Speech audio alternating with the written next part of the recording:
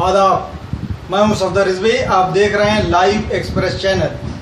आपसे गुजारिश है कि इस चैनल को सब्सक्राइब करें, लाइक करें, शेयर करें और कमेंट करें।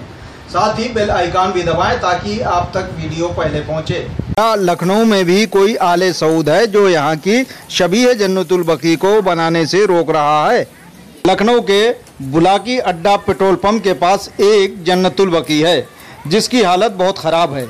चारों तरफ़ की दीवारें गिर रही हैं और इस जन्नतुल बकी में बकरियों को दीवारों पर चरते देखा जा सकता है। देखें इस जगह का वीडियो।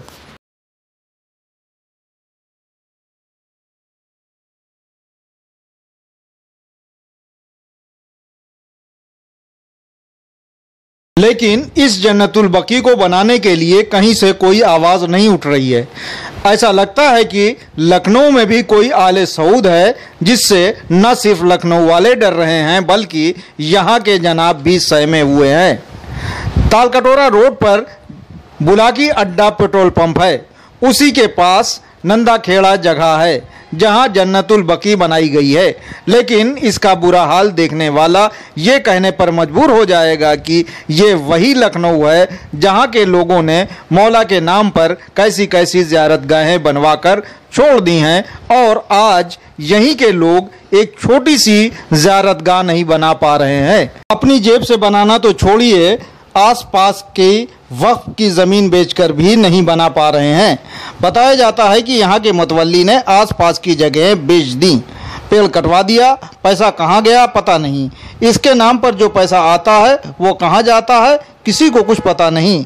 इस जगह को बेचने और बर्बाद करने वालों को बिल्कुल पकड़ा जाना चाहिए और उनसे हिसाब किताब लिया जाना चाहिए। साथ ये भी पूछा जाना चाहिए कि ये जन्नतुल बकी अब तक बनकर तैयार क्यों नहीं हुई? लोग बताते हैं कि कई साल पहले यहाँ जनाब भी आए थे और बोसीदा इमारत की जगह नई इमारत खड़ी करने की बात कही थी। नई बुनियाद खड़ी भी कर दी गई, लेकिन आज तक छत नहीं डाली गई। लखनऊ की ये जन्नतुल बकी भी बिना छत के है। पता नहीं यहाँ कौन सा आले सऊद जैसा है, जो इमारत और छत बनाने से रोके हुए है, जिसकी वजह से आज तक ये जन्नतुल बकी बनकर तैयार नहीं हुई है। अफसोस तो इस बात का है कि जन्नतुल बकी के नाम पर बेची गई ज़मीनों पर इमारतें तो बन गई हैं, लेकिन ये जन्नतुल बकी आज भी टूटी, फूटी और बिना छत के है।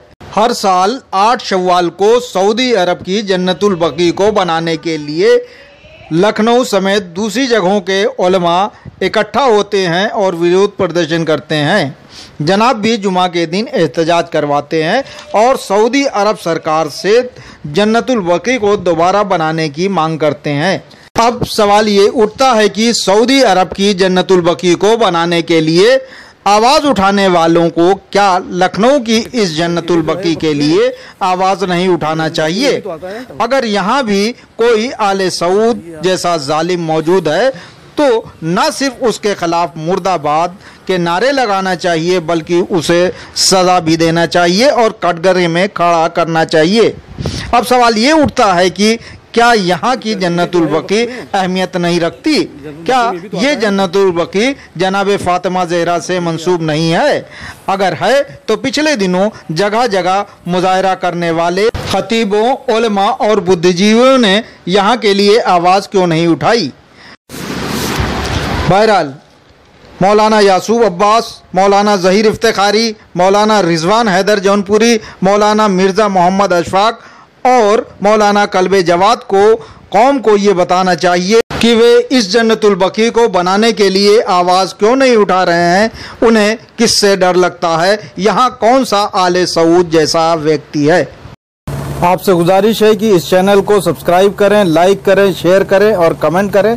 साथ ही बेल आइकॉन भी दबाएँ ताकि वीडियो अब तक